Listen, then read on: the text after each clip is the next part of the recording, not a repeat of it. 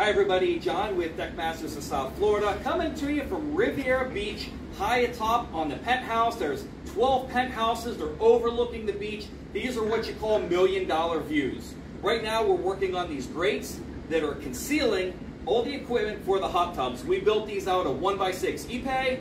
Uh, they got one coat of oil on them right now.